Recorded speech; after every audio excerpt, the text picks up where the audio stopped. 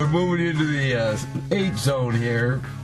Uh, getting out of the seven circle. You do operate. You're very good at articulating the significance of my wisdom, and but you you personally find it hard to actually live in the eight zone.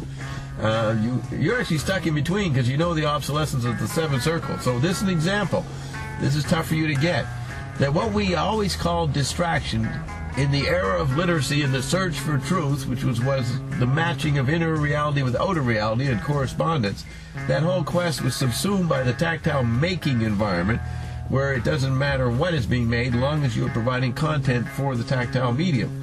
So distraction or non-truth or ignoring truth is is the term for the fact we need information and consumption of our senses and extended senses rather than truth.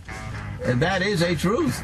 But see, I, I, I don't disagree with that. What I'm saying is what's happening is these people, they are so distracted that they're almost hypnotized to the point of comatosis. Well, that, that they are not alive in the sense that I am. They're not reappeared. They're no, disappeared. I know that, man. I, I've got that much. I, I mean, it, it, uh, that that's my frustration with the general population.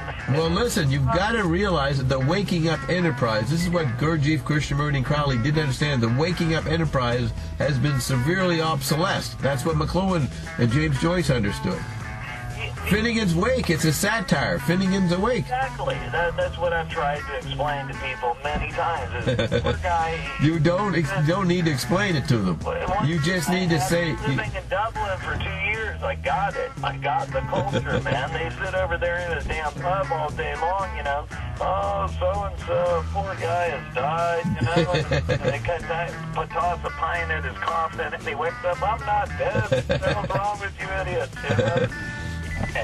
The, the point is, you gotta realize that there's no way to judge who's asleep or awake nowadays when you're dealing with the four body model. Right. Uh, uh, just kind of. Well, if I had standards, I wouldn't be doing what I do on Eben, you know, or on any show. I'd be just staying where I professionally am trained to in the Secret Council 10. But I wander among the crowd, knowing there's no difference. I, man, I agree with that, but is it not frustrating to know that, that they've got to dummy down all these people, man? I mean, if No, they don't dumb it down. The people dumb themselves down because they don't understand how they've been extended and then castrated. They're, either dumbing down or numbing down. Numbing down. And they're also intensifying.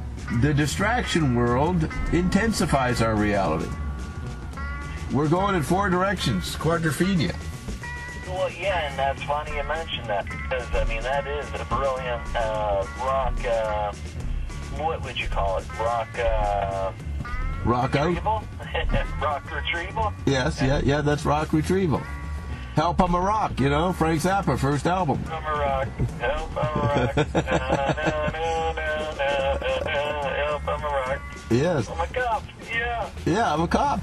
So the, uh, you know, there's so much in. Wait, wait, wait a minute. Now, does does that mean just because we're aware of uh, this distraction that we're cops, man? Because the cops aren't aware that we're all distracted. Uh, well, we're you could be a hard cop or a soft cop. I'm a.